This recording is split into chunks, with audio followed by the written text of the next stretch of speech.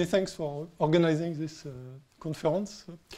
Uh, so what I will talk about is uh, so so some applications of uh, topos theory to uh, constructive mathematics, and uh, so I will explain. I mean, there is actually there is one or two, yeah, one idea that I want to to explain, and which so topos theory ideas from topos theory really allow uh, uh, constructive mathematicians to do things that will seem impossible to do. And that's uh, what I want to present. So that's uh, so this talk will be from the point of view of a logician, and from uh, from this point of view. So I mean, uh, sheaf theory or topos theory. I mean, so topos is. I will talk only about Grothendieck topos. So sheaf models. Uh, what's fascinating is that uh, so the history of uh, this combines mixes logic and mathematics. So I mean, so the definition of sheaves, so it originally comes from mathematics. first example of presheaf model, it's actually the paper of Eilenberg and Zilber, so which is a presheaf over a category, simplicial sets. Uh, 50. Uh, in 51, so Alonzo Church, so logician was working on uh, semantics of type theory using complete Boolean algebra, so which is also sheaf models. And 56, so Beth, logician, so was trying to understand ideas from Brouwer about intuitionistic logic. And uh, uh, I mean, what he, his way to understand uh, what Brouwer meant, mean, semantics of intuitionistic logic, was by using sheaf models. Uh, he invented sheaf models actually for this. Uh, so I, I, mean sheaf, so not only uh, you have this idea of cover, covering already. 58, so uh, Kripke, so he tried to understand the work of a logician uh, Prior that was working on temporal logic, so to understand the notion of times uh, logically. And uh, in order to understand this, to formalize this, I mean, he designed uh, what is known as a Kripke model, which is an example of presheaf model. Okay, so we have also this idea of presheaf model. So, uh, which comes from logic. So in the 60s, so Grothendieck uh, generalized notion of sheaves to a, a site, not only a, a poset. But in logic, you have uh, 64, so the idea Cohen, who introduced a method of forcing to uh, prove independence result. Uh, this method was uh, reformulated 66 by uh, Dana Scott as a Boolean valued model, and there the connection with topos are, are clear. So it's uh, and then in the 70, you have, I mean, there was a, an example of a site model actually in logic uh, Brouwer had the notion of choice sequences. And uh, Kreisel and Troelstra also tried to formalize, to understand semantics of this idea. And uh, um, semantics of this is captured actually by a, a, site, a model over a site. So that I will, if I have time, I will, uh, I will present this. so as I said, so uh, how it comes in logic, so it was to understand uh, ideas from Brouwer. And uh, for Brouwer, so uh, I mean, is uh, one example is that so if alpha is an arbitrary sequence of uh, 0, 1, which is given to you as an oracle, you cannot decide, uh, I mean, uh, this disjunction is not, should not be valid because you cannot decide if alpha is only given to you as an oracle, you cannot decide if it's always 0 or if it's, it takes a value different from 0. So uh, constructively, this should not be valid. But how to uh, formalize uh, this? So this was done by Heyting, who I mean, who designed actually a complete set of laws for intuitionistic logic. So that was what Olivia uh, talked about. I mean, so the logic that we want, uh, the logic which is valid in an arbitrary topos is intuitionistic logic. And the surprise, what it was uh, kept, it was possible to capture in the complete way the set of laws that are valid in an arbitrary topos. And that was what Heyting uh, did. And then so there was a question about uh, if this logic was, uh, I mean, what does constructive means there? So actually, uh, people working in uh, constructive mathematics, uh, they came out with this definition that constructive mathematics is the mathematics developed using intuitionistic logic. Okay, that's how I will understand constructive mathematics. And I think, so my um, uh, hypothesis or my thesis is actually it's a good way to uh, talk about algorithms, is to talk about algorithm in this setting.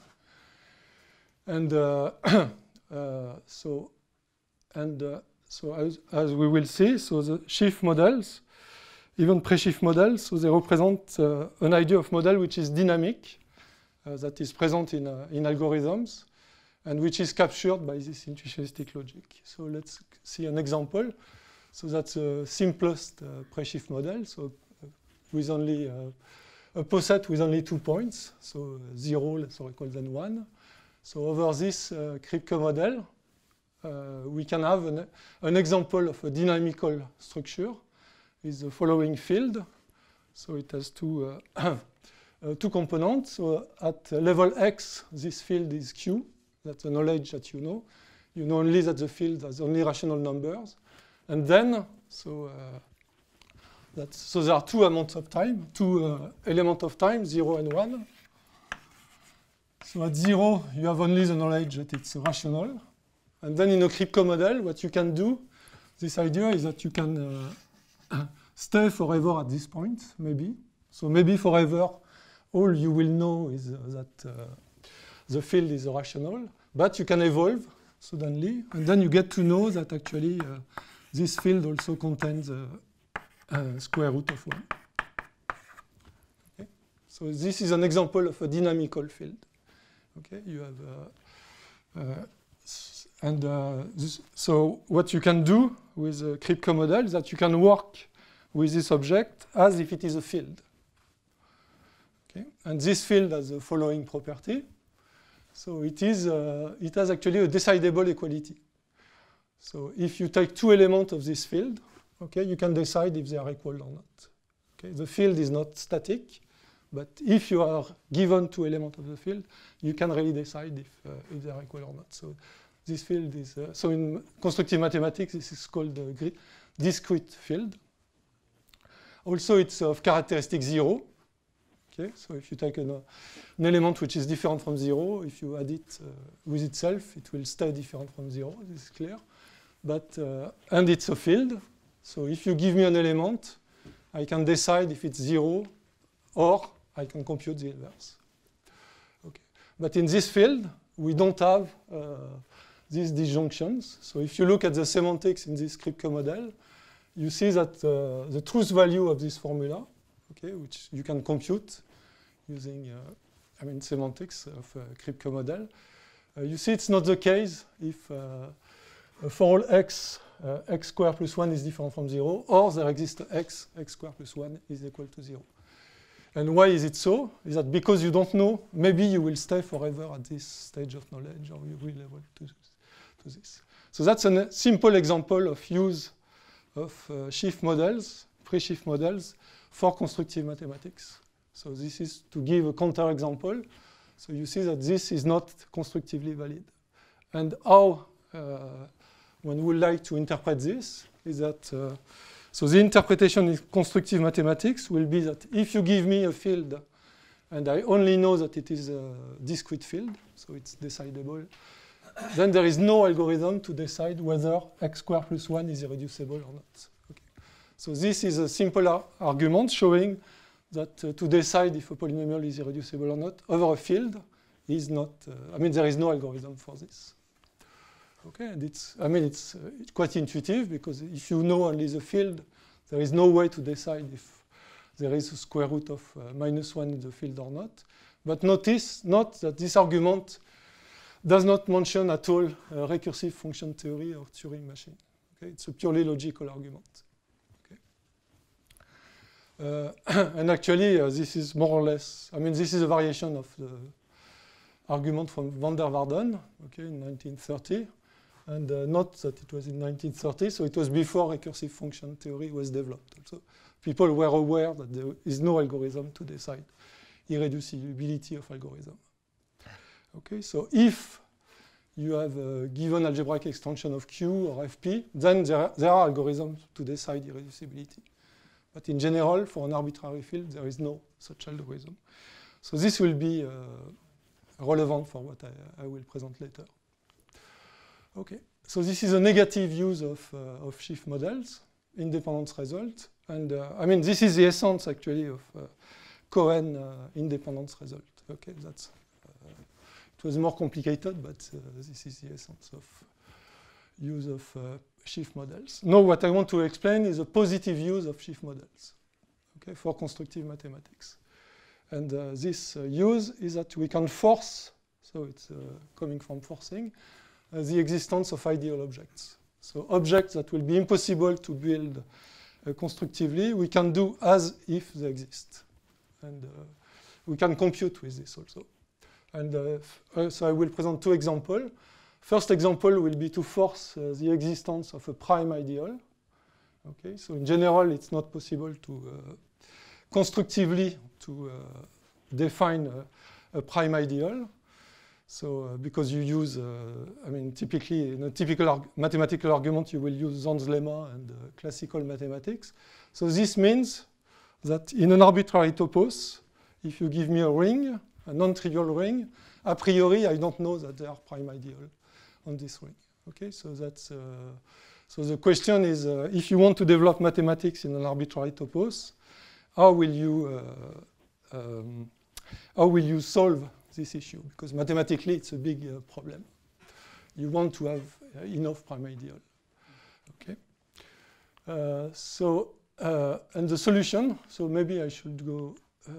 yes. So may start by this. So, uh, so Lawvere in um, so in his ICM talk in uh, 1970, so he conjectures that uh, so in an arbitrary topos you cannot show the existence of a prime ideal, but if you look at the complement of, of this prime ideal, so prime filter, so what are the axioms of a prime filter? So you write that, uh, uh, I mean, it's a complement of prime ideal, so 1 belongs to F, 0 does not belong to f.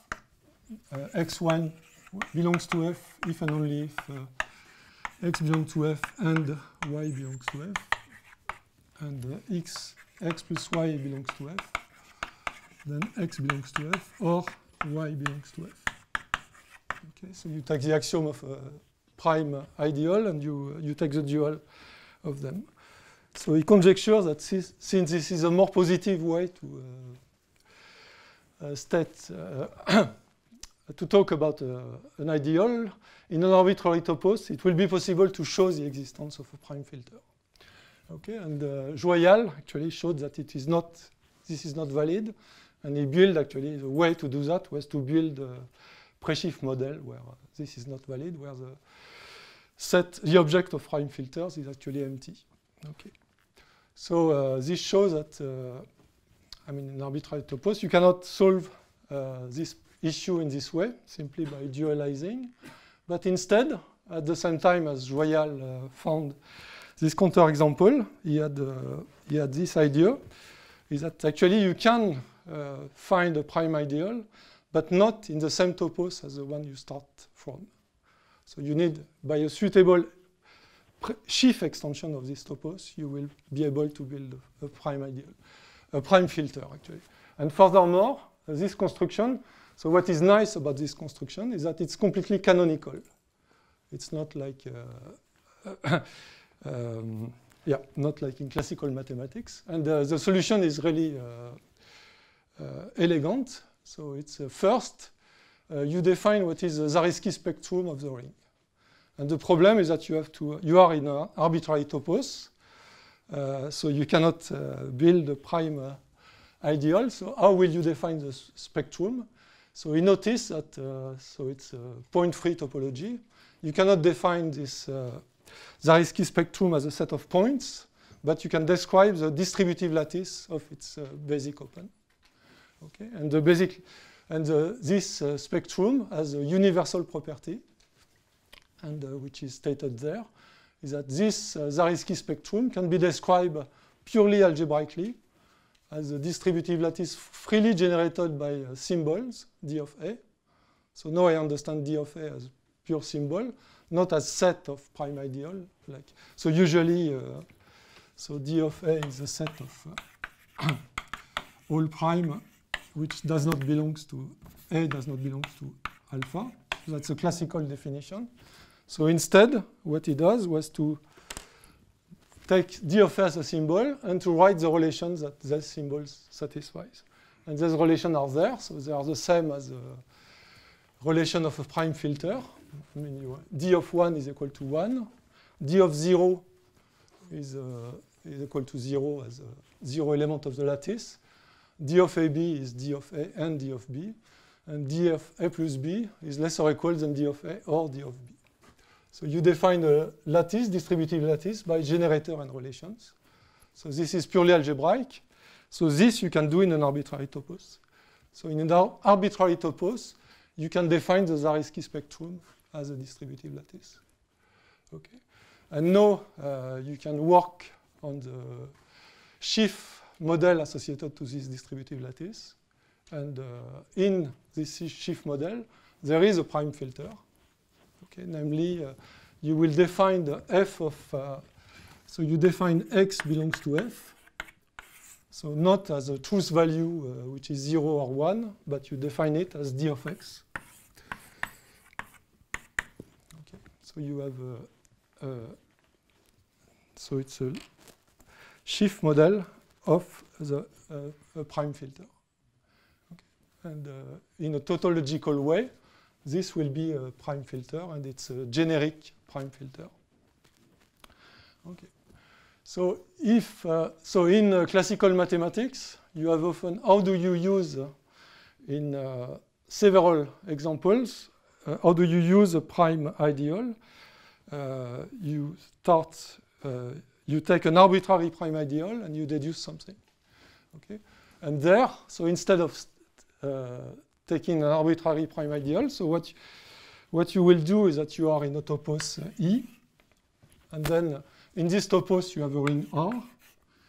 Okay, you define this uh, uh, distributive lattice uh, spectrum of R. Uh, and then you define the sheaf model of this distributive lattice. So what you do is that you extend your topos with a new topos, topos of sheaves. And in this new uh, topos, there you have a prime filter, a generic prime filter.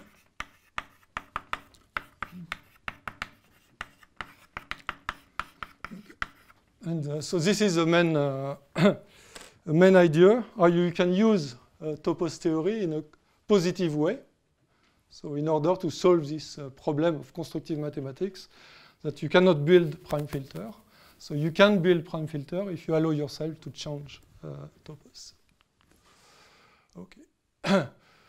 um, so this distributive lattice, so which is given by uh, these relations, uh, so it has a remarkable property is that uh, so it's where uh, Olivia mentioned the use of uh, topos theory for proof theory. Uh, so that's a problem of consistency of this uh, distributive lattice. So you have defined this distributive lattice using universal algebra.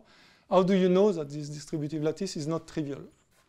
Okay, so because maybe uh, when you defined it, maybe you have 1 equals 0 in this lattice.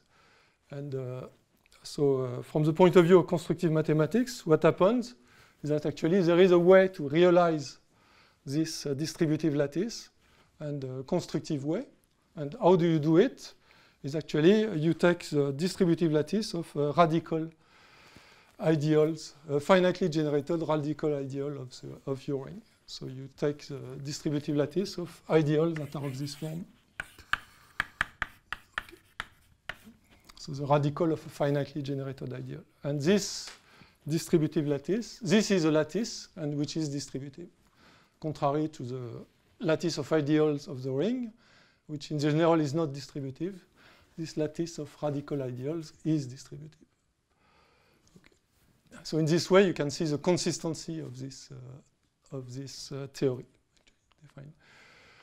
Uh, so logical interpretation is this one. So you, a prime filter always exists if you, uh, if you use sheaf models. Uh, so, well, I give a simple example of this, of this use. So, I mean, that's, this is uh, um, yeah, an example of a typical use of prime ideal in classical mathematics. Uh, define a polynomial to be primitive if uh, the ideal generated by its coefficients contains one. Okay, and then uh, so the proposition. So the product of two primitive polynomials is primitive. So how will a classical mathematicians do that? So he, will notice that uh, a polynomial is primitive if and only if it is not zero modulo any uh, prime ideal. Okay? And then uh, R quotiented by alpha, if alpha is prime, uh, it is an integral domain. So R alpha of x is an integral domain. So you get uh, a proof of this proposition. So you have, uh, this is a typical situation in constructive mathematics. So you have proven this statement about product of two primitive polynomials is primitive, is a concrete statement. And you have proven this statement using uh, an ideal, prime ideal. Uh, so, uh, so the question is how will you interpret this in constructive mathematics? So this is uh, solved by this uh, use of uh, this generic prime filter. You can look at this argument using a generic prime filter instead. Okay? And what you get is uh, actually when you look at this, uh, you get uh, these propositions. So, which is reminiscent also of lemma of Gauss. Gauss. So if sigma, if a polynomial is is a product of two other polynomials, you have these relations between the in the Zariski spectrum. Okay, and actually this is the essence of this classical argument.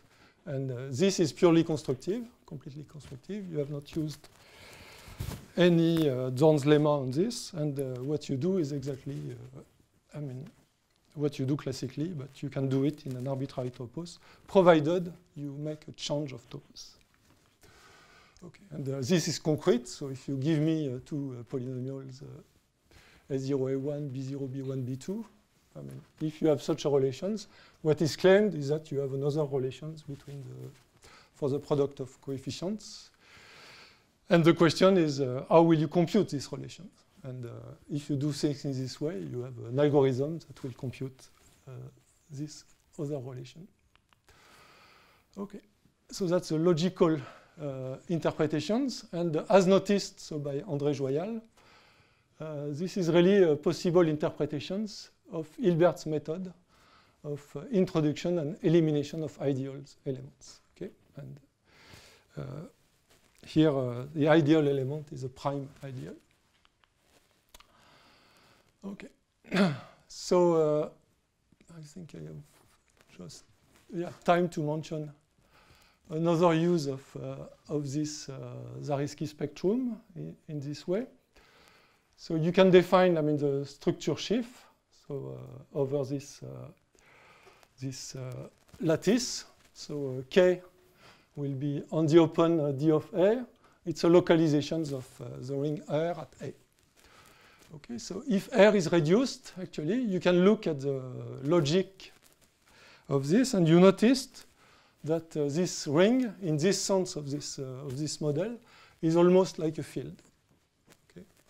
So if you look at the, uh, I mean, the logic in the in this topos over this, uh, this uh, Zariski spectrum, actually you always have the case that if x is not invertible, then it is equal to zero if the ring is reduced. So that's an exercise.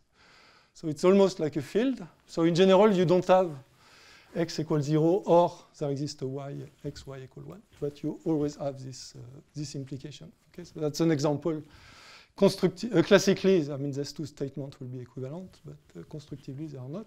But the first one is always uh, verified. So I want to just uh, to give us an example of the use of this kind of relation that was noticed by uh, Ingo Blechschmidt, which is really nice. Actually, it's, uh, it's a trivial, so logical consequences of this, which is uh, an elegant so generalization of uh, Grothendieck's uh, generic freeness lemma. So what is a classical version of this is that if you have a ring which is different from zero and a finitely generated module, not model, sorry, a module over the ring, uh, there exists an element uh, different from zero in the ring such that the localization of M is free over uh, localization of R. Okay, so this is a statement in EGA, but uh, if you look the proof uh, in EGA, uh, so it's 4, 4, 4 2, I mean volume 4, uh, you have more hypothesis that the ring is supposed to be integral domain and Noetherian. And actually, so the remark of Ingo was that uh, this statement is valid for arbit. You don't need uh, any uh, Noetherianity hypothesis, and it doesn't need to be an integral domain. so as stated in this classical way, it's not valid in an arbitrary topos. But logically, so what you can do is that you can uh, uh, have an intuitionistically valid formulation, but then it looks weird from a point of view of uh, classical mathematicians. It's stated like this. So if you take an orbit, uh, if you take a ring R, which is reduced, and you suppose that uh, whenever the localization of M at A is free over the localization of R, then A equals zero. So you assume this. Then the ring is trivial. Okay. So that's uh, logically, uh, I mean, it looks more complex. So that if for all A, uh, M over 1A free over R over 1A implies A equals 0. Okay, if you have this, then uh, 1 equals 0 in R. So classically, this is the same as the classical version of uh, of the freeness lemma. Okay? And this statement is valid intuitionistically. And furthermore, I mean, the proof is uh, trivial, is that uh, you have, uh, it's trivial uh, by uh, um, induction on the number of generators of the module. Okay, so that's a simple exercise. And that was a remark of Ingo, and he discovered this by uh, looking at uh, logically at, uh, so if you assume that you have a ring R K which satisfies these implications, uh, intuitionistically, you can show that any finitely generated module over K not is free, but is not not free. So it's, uh, if you suppose that it is not free, then you have a contradiction. Okay, and the proof of this is completely, uh, uh, completely direct. Okay, so that's an application of the internal logic of, of a topos. Uh, I mean, small applications, uh, but still, I mean, I think there are a lot actually. Uh, my conjecture is that there are a lot of statements in commutative algebra that have uh, extra Noetherianity hypothesis that can be uh, treated in this way. And uh, actually, so Martin Brandenburg had, had, a really nice application of this, this lemma that I want to mention. Okay, so that was uh, application of uh, models um, where you can force. So one application was that you can force existence of elements by changing uh, base topos. The other application was the use of, uh, I mean, if you look at uh, logical property that uh, some objects satisfy in sheaf models, you can exploit this and get nice, nice proofs. So now what I want to describe uh, quickly is another an application of, uh, for doing something which seems impossible in uh, constructive mathematics and which can be interesting uh, computationally. It's a representation of algebraic numbers. numbers. So, I mean, there is a problem in uh, constructive mathematics is that, uh, as we have seen, we cannot decide if a polynomial is irreducible or not. So a priori, in an arbitrary topos, if you give me a field K, I will not be able to uh, build the algebraic closure of the field. Because how do you build the algebraic closure of a field? I mean, the first thing you do, you take an element, uh, uh, you want to add the root of a polynomial, But in order to get a field extension, this polynomial has to be irreducible. If you don't have an algorithm to decide if the polynomial is irreducible or not, you cannot even start to build this algebraic closure. So how will you do it? And the solution is exactly the same as, uh, as this one. So the algebraic closure will not exist in the, in the topos you start from, but it will exist in a topos extension, which is actually the classifying topos that Olivia described. But uh, what happens is that, so there is also a consistency uh, uh, problem. I mean, this classifying topos, it always exists, but what you want is uh, you want to have more concrete informations, more concrete descriptions. You want to know uh, a consistency statement. That's exactly the problem in a proof theory. And uh, topos theory actually provides a systematic way to prove consistency of these theories. And this is an example, actually. So what you will do is that uh, you will build this algebraic closure in a, an extension of the topos, and this extension will be over a site model this time, not over a uh, topological space. Okay, over a site.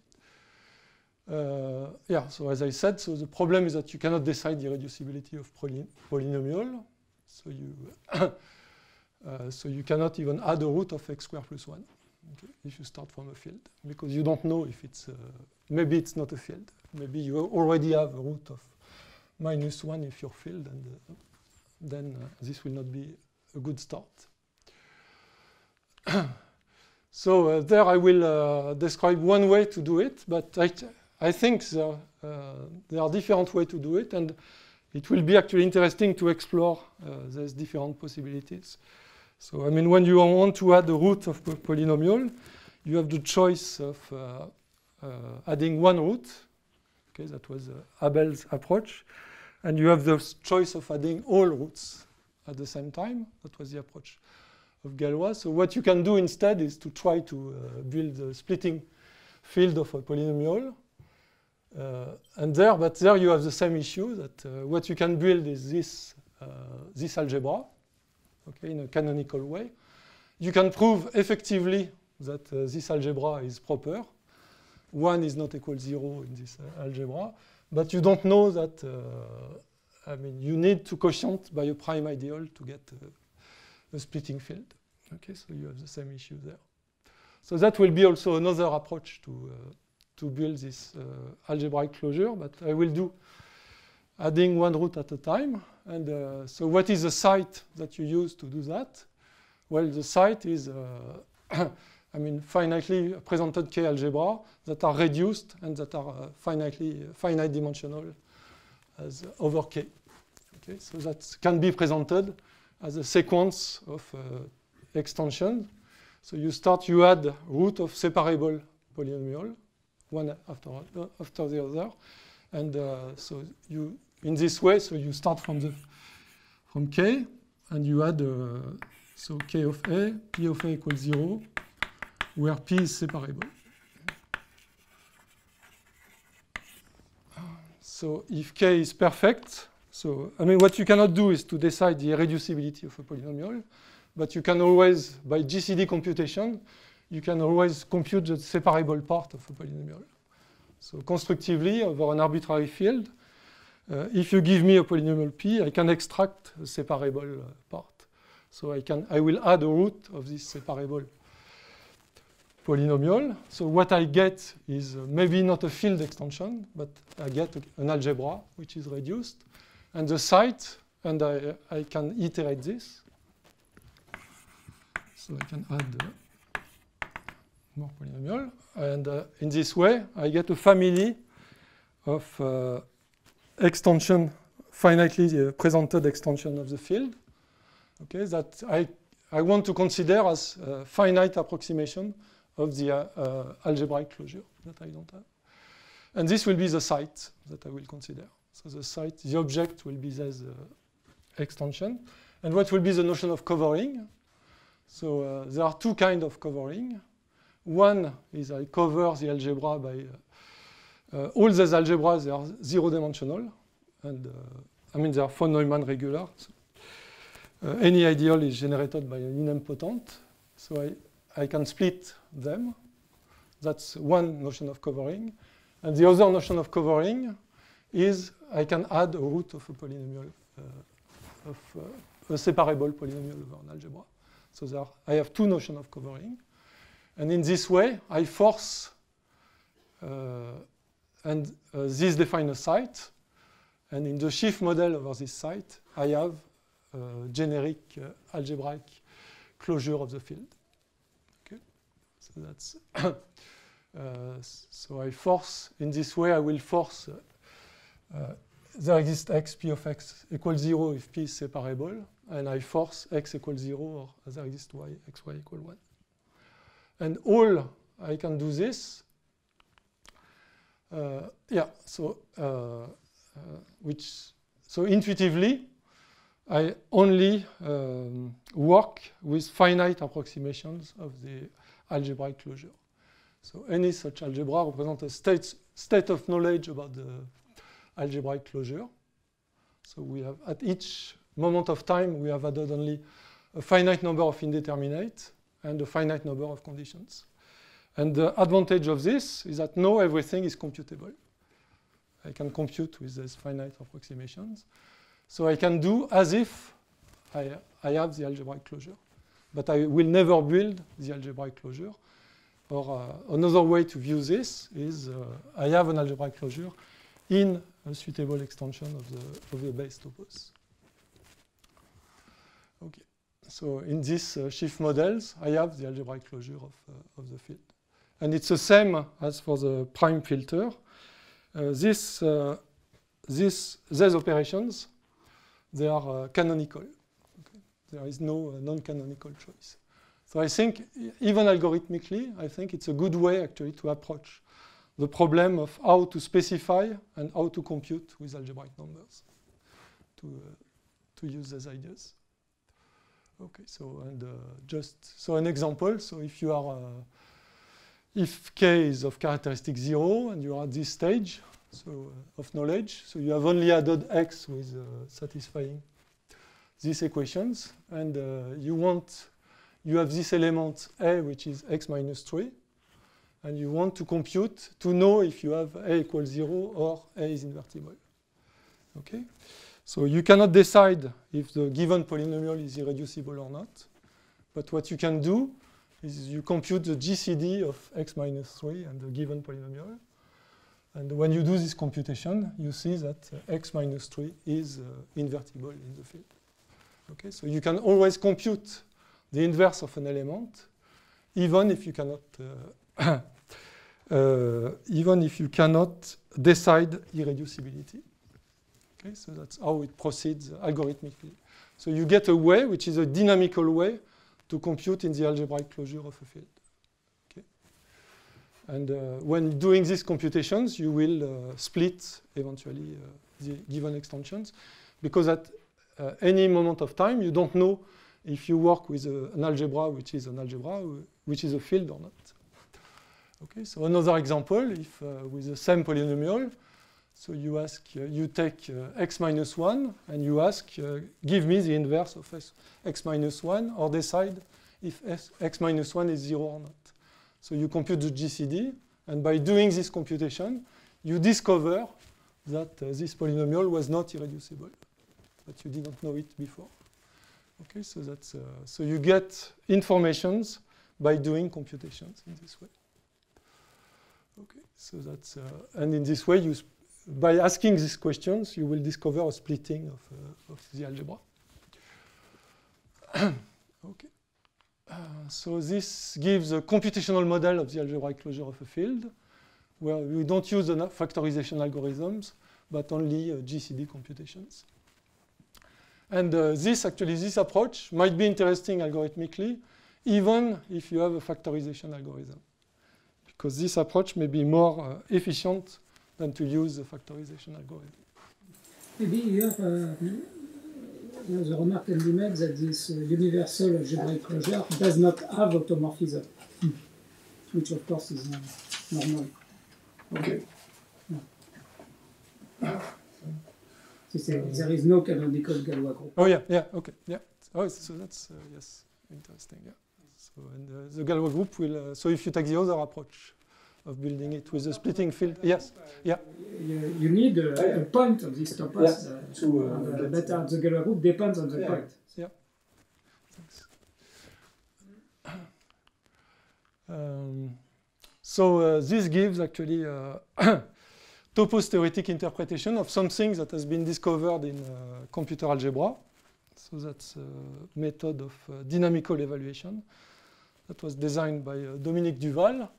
And uh, the application was uh, to compute, I mean, in the algebraic closure of a field, to do computations in the algebraic closure of a field. And, but this description was in terms of dynamical computation. And this, I think this topos theoretic uh, approach gives a nice uh, formalisms to, uh, to capture this idea of uh, dynamical computation.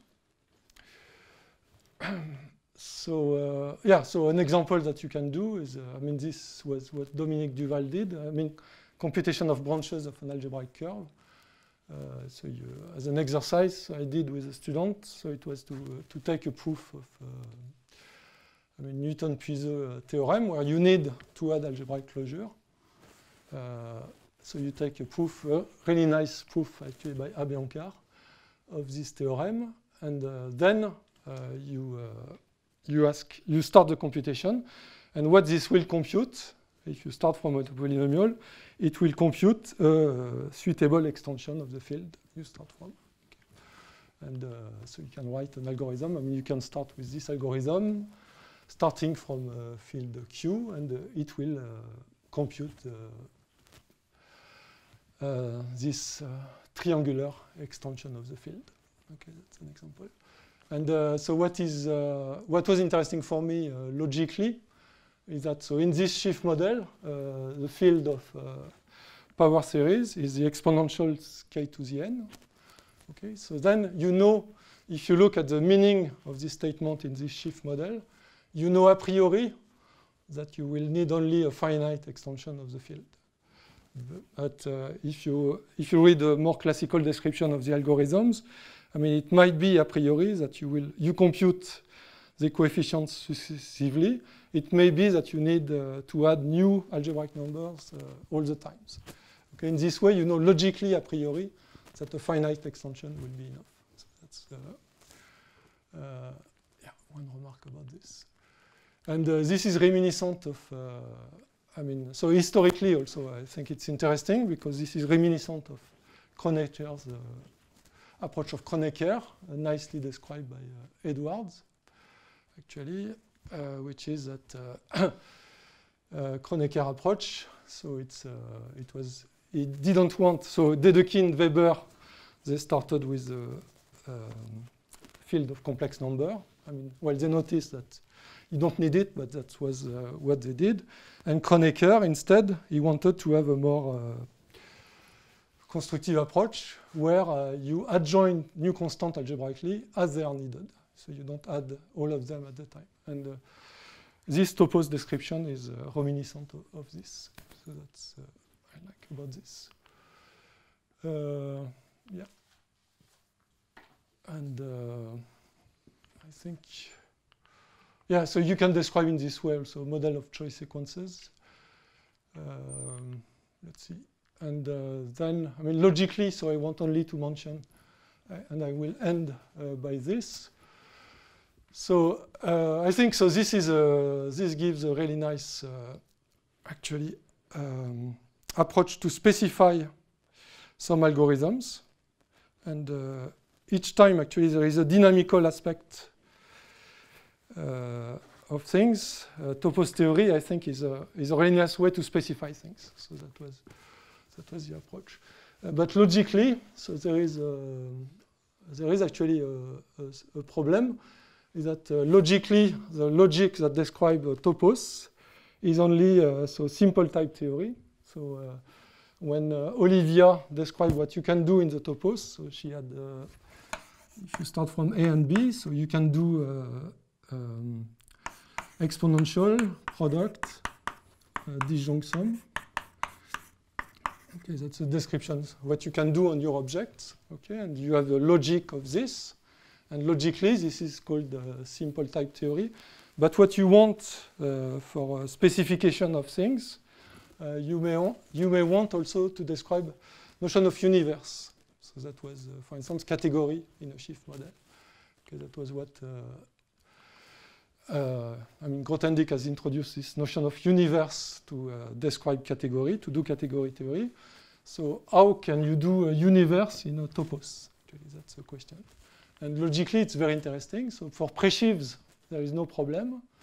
So if you have a topological space, and uh, if uh, U is a Grothendieck universe, if you take f of V to be the set of all uh, U presheaves on V, then uh, F is a presheaf. There is no, no problem. And this is a presheaf of all U presheaves. So in a presheaf model, you have a universe, universes. But if you try to do the same with sheaves, uh, there is a problem. So if you take f of v to be the set of all u sheaves on v, then f is not a sheaf in general. Okay. So and uh, how do you see this? Is that if you have a compatible collection of sheaves on a covering of v, uh, then it's always possible to glue them together in a canonical way. But I mean, not canonical, because actually the glue is not uniquely determined. It's only determined up to isomorphism. Okay, so you don't get, uh, in the condition of sheaf, you have uh, existence and unicity of the glue, uh, gluing condition. So unfortunately, for sheaves, it doesn't work. So you have, uh, you have a problem. So logically, there is a, I mean, a nice uh, problem. So how to generalize the notion of sheaves in order to uh, have a universe uh, as well. And uh, this is a really interesting research direction, and that's what I am working on now. So I, but I think I will rather stop at this point. I only wanted to mention this, this issue, and I stop.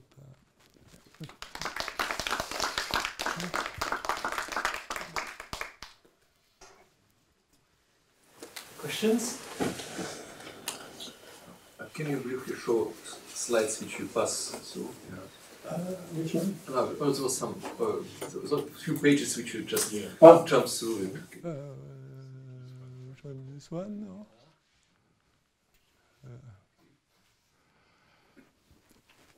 Uh, was it this one? Yeah. Okay.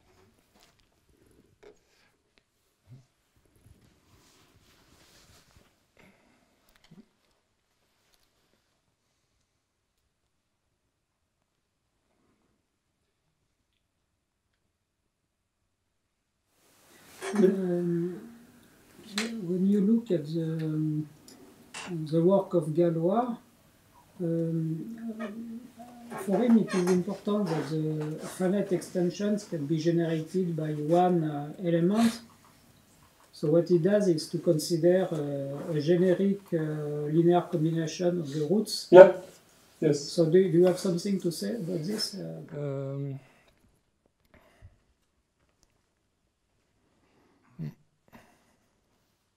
yes, so yeah, See, to, to, you have a finite extension and you want to compute explicitly, uh, to Yeah, give explicitly exactly. an element which generates the extension. Yeah. And uh, so actually, so there is a nice uh, actually analysis of this in uh, Edwards, uh, uh, some paper by by Edwards. So actually, uh, so uh, and it was also analyzed by Kronecker. So uh, uh, logically, you want to describe the splitting field of uh, of a given polynomial, and Galois does. Uh, so he, he does something which is uh, weird logically because he does as if he has already the splitting field. And he describes, but actually what he does, he describes how to compute in the splitting field. But first using the existence of this splitting field. And then there is a logical issue actually. How do you know that the splitting field exists a priori? And uh, constructively it's not uh, trivial. Harold Edwards uh, describes this. And there also, so what you have is that, uh, so the uh, splitting algebra always exists canonically, and you can show it's elementary to show that the splitting algebra is non-trivial. So and so constructively, what you do is that you work with the splitting algebra instead, and then you can make sense of the of uh, what Galois is doing. But also, uh, so Galois, he, uh, he had this. uh, I mean. uh, linear combinations of of the roots, and uh, he says uh, A1 ANs are uh, numbers, generic, yes. But actually, Kronecker, he replaced this by indeterminate. Okay, and, so instead you work with indeterminate, but you allow to work in extension of the field with indeterminate. And that's, I mean, this approach which is, I mean, consistent with this view that you can always uh, work in a suitable extension, and that's uh, uh, doing this, you do things in a canonical way. Yeah, yeah. If, you could do, okay. Yes, no, no, go ahead. No, it's okay. No, uh, trying to do something with continuous maps. For example, I remember a talk of Marie-France Coste-Roy about mm -hmm. Brouwer uh, fixed point uh, yeah. In the uh, real analytic uh, setting. And is it possible to construct uh, something in this spirit? uh, adding a fixed point uh, from when I have a map from the disk to the disk. Well, you can define the space of this fixed point and uh, as a as a space, and then you can. But can you? I mean, of course, you. I mean, the fixed point will not exist constructively. Uh, yeah. Yes, so uh, that's a problem. But so uh, you will not know if this space is uh, as a point or not. In fact, it's, it's very important that something can be substituted to this to this theorem. Oh yeah, yeah, okay. Yeah, so actually, uh, it's in, in analytic setting, it, seems to be constructive. Yeah. Mm-hmm. Uh, this I don't. Okay. I, with more hypothesis, and you have more on the map or. Uh, I don't remember exactly. It was a talk of Marie Franck. Okay. Oh yeah. So actually what you can do is uh, to use this idea. So you have, you have always the space of uh, fixed point. This space is non-trivial. And then you can work in, the, in this extension and you can do as if you have a fixed point. And maybe you can do something with it. And, but uh, then, but uh, yeah. In the case of the algebraic closure construction, can you say how close you are to the algebraic closure? no, I mean, no, no, no. You never know. Uh, yeah, yeah. I mean, uh, you always have a finite extension, so you are never in the. But when you have, you, want to compute something concrete. I mean, that's a continuity argument. If you use the algebraic closure of, uh, of a field uh, to define, to compute something concrete, an integer, uh, you know that you will only use a finite approximation of your algebraic closure. So, you, so this will, yeah. So you insist about this question about fixed point. Can you say I take the space of uh, fixed point? Yeah. But in you, there is no proof at all uh, because we, we, the proof of the theorem, even if it's not constructive, there is some uh, something non-trivial, for example, Sperner lemma. Yeah, yeah. Is it possible to to use the part which is constructive to make something more precise, for example? Because um, here, in, the, in, your case, you, you do something. With, with yeah, yeah, yeah. I mean, the problem will be uh, when you you have this space of, uh, in general. So, for instance, for the no, no, no, prime filter. I mean, for the prime filter, for instance, you you exa that's exactly what you do. You you cannot build a prime filter, but you can define the space of prime filter. But where is the problem? I mean, you, you have not solved. When you do this, you don't do anything. I mean, well, actually, you do things, but it's purely. Uh, it's uh, a universal algebra. I mean, what you, uh, uh, where was it? Well, when you define this distributive lattice, you can always define this distributive lattice. That's the space of prime filter. Okay, and this is tautological. But the problem is uh, why is this space non-trivial? And that's where there is a, I mean, uh, there is a, really a key, and uh, I mean, that's where you have to use radical ideals to show that this, and this is Nullstellensatz. I mean, this is the essence of, uh, and so I, I, guess if you can do something with uh, fixed point, I don't know if you can do, but that will be where the problem is. And my guess will be this uh, Sperner, Sperner's lemma, for instance. It can be used to show that this space is non-trivial in the same way. So yeah, in fact, in general, I, I think that um, you can distinguish between uh, syntactic consistency and semantic consistency, and so exactly. the syntactic consistency corresponds to saying that the topos is non-trivial. The classifying topos is non-trivial, so it means that zero is non-isomorphic to one.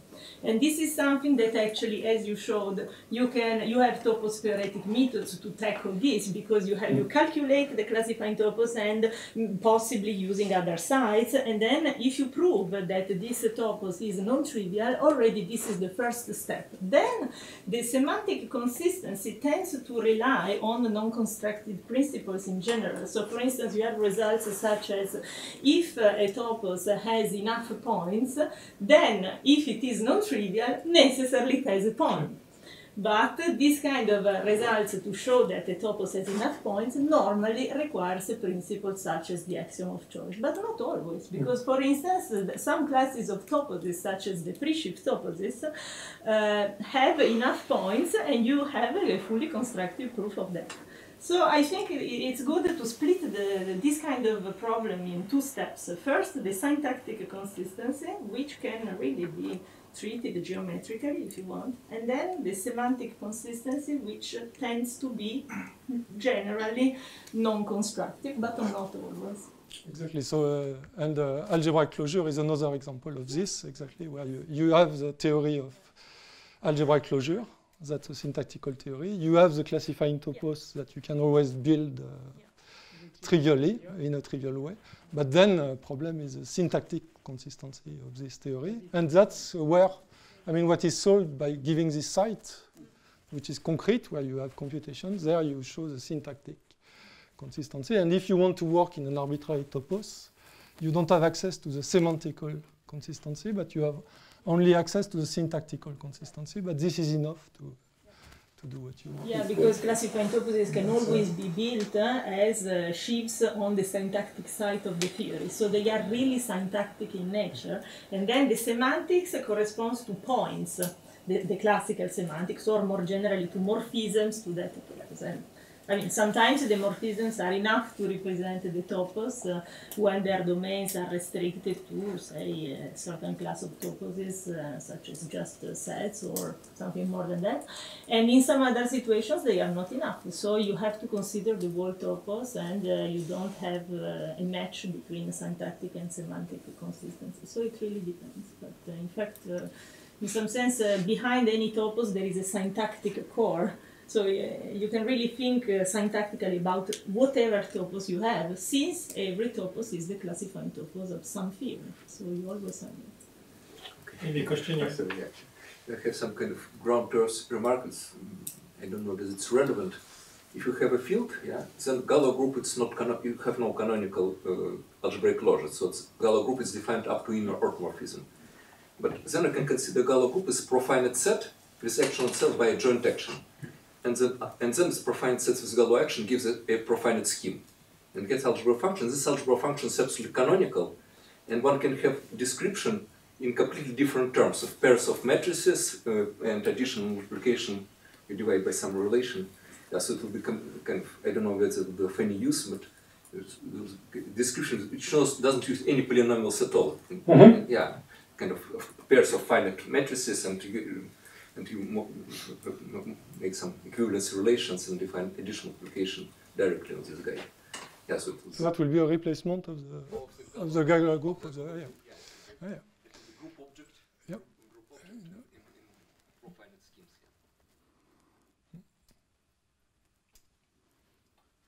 Okay, I think uh, let's thank the speaker. Uh,